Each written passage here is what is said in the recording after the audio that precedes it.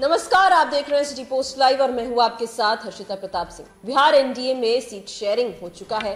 जैसा कि आप जानते हैं, भाजपा को 17 जदयू को 16 चिराग पासवान को पाँच और उपेंद्र कुशवाहा, जीतन राम मांझी को एक एक सीटें मिली। तो अब तमाम पार्टियाँ अपने अपने उम्मीदवार चुनना भी शुरू कर चुकी है। जेडीयू को 16 सीटें दी गई है बिहार एनडीए में। तो अब जेडीयू ने अपने उन 16 सीटों पर अपने उम्मीदवारों का नाम भी फाइनल कर लिया है। आपको बता दें, जेडीयू ने अपनी सभी 16 सीटों के लिए उम्मीदवार फाइनल कर दिया है। एनडीए में सीट शेयरिंग के तहत जदयू के खाता में जो 16 सीटें आई है, पार्टी ने अपने प्रत्याशियों के नाम तय कर दिए हैं।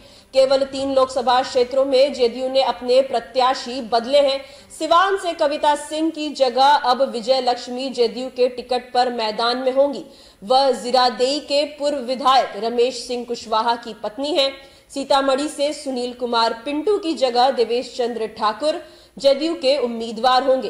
किशनगंज से जेडीयू ने इस बार मुजाहिद आलम को अपनी पार्टी से टिकट देने का फैसला किया है। सीट शेयरिंग के तहत जदयू के खाते में आई शिवहर सीट से जदयू की टिकट पर लवली आनंद चुनाव मैदान में होंगी।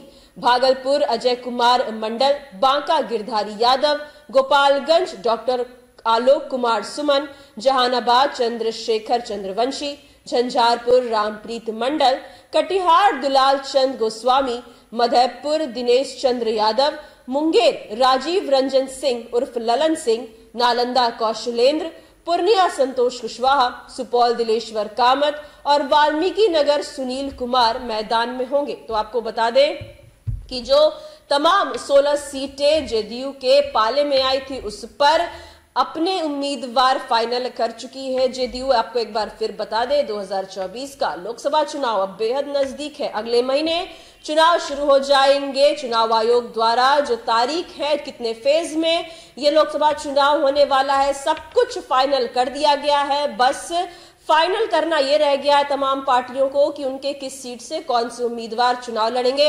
एक और बात बिहार एनडीए की करें तो वहाँ अभी जो सीट शेयरिंग का पेच है, वो फंसा हुआ है। ये संभव है कि आज या फिर कल तक जो सीट शेयरिंग का फॉर्मूला होना है, वो तय हो जाए। हालाँकि दूसरी ओर राजद सुप्रीमो, लालू प्रसाद यादव ने अपने तमाम सीटों पर जो उनके उम्मीदवार होंगे, उन्हें सिंबल बांटना शुरू कर दिया है, जिससे यह भी खबर है कि कांग्रेस आला कमान इस बात से कहीं ना कहीं नाराज़ है। हालाँकि कांग्रेस के प्रदेश अध्यक्ष अखिलेश प्रसाद सिंह का कहना है कि या तो आज या फिर कल तक जो सीट शेयरिंग का फॉर्मूला होना है, वो तैयार कर लिया जाएगा। लेकिन दूसरी ओर बिहार एनडीए में सीट शेयरिंग का फॉर्मूला तय है। तमाम उम्मीदवारों को का नाम फाइनल किया जा रहा है और जेडीयू ने अपने सभी 16 सीटों पर अपने उम्मीदवार चुन लिए हैं अपने उम्मीदवारों के नाम फाइनल कर लिए हैं। किस सीट से, कौन से उम्मीदवार को खड़ा करने जा रही है जेडीयू, ये हमने आपको बताया इस रिपोर्ट में। फ़िलहाल इस खबर में इतना ही। आप आगे की खबरों के लिए देखते रहिए सिटी पोस्ट लाइव इस वीडियो को लाइक करें शेयर करें